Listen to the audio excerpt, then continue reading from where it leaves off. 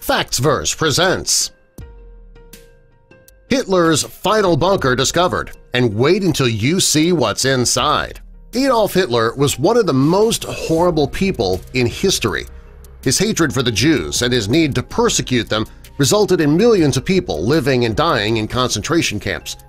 A photographer and urban explorer named Mark Ascot searched the countryside in northern France and he made an amazing discovery – Hitler's final bunker.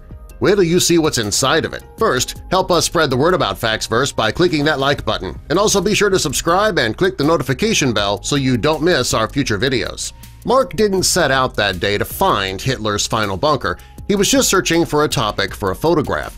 But it was then that he found the bunker. The bunker was filled with the stories and memories of the horror that Hitler caused on the lives of millions. After finding the bunker, Mark decided not to reveal the location of it. He had good reason for keeping the location of Hitler's underground bunker a secret. The bunker wasn't the first time that this Parisian photographer uncovered a World War II history site and photographed it. Using soldiers' journals, he managed to uncover an underground hospital and other wartime relics from World War II. He took his latest adventure to uncover Hitler's secret bunker very seriously.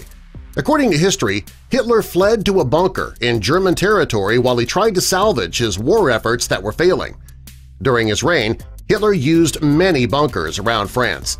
Mark found one earlier that experts believe is where he planned the invasion of Britain. Mark took a chance, going through the deep woods because it was hunting season. When he came across the old, damaged concrete building, he had no idea what he would find inside. Before going in, he got his camera ready. Outside of the bunker was a huge swimming pool, and Mark did some research. He found that a giant tarpaulin hung from the pool back then. It was a way for the German officers to hide themselves while they swam. When Mark found the pool, it was empty and covered in moss. When Mark found the bunker, he had to figure out how to get in. The windows were covered with rusted shutters and they were designed to keep people out. After searching the exterior of the bunker, he finally found a way in. It wasn't the only bunker that was discovered. It might not be the last either. When Mark got into the bunker, he began exploring a huge network of tunnels and rooms that were hidden underground. At the deepest point, it is close to 100 feet under the surface. The bunker wasn't in great condition. The ceilings were crumbling. The bunker that Mark found was said to have been the place where Hitler made his plans to invade Britain, which never happened. After attacking Britain, Hitler planned to burn Paris to the ground so the Allies couldn't capture the city. This didn't work out, though, because Nazi support was waning. By that point, to attempt a full-scale military strategy wouldn't be possible. Hitler wasn't the only person who spent time there either. According to Mark's research, the bunker was the command center for the Nazi Western Front military. Many German officers and their staff stayed in the bunker. There was a room that Mark found that had rust stains on the wall and the ceilings. He assumed the stains were from shelves that once stood in the bunker. There's no way of knowing what the shelves held, however they likely had information that contributed to the war.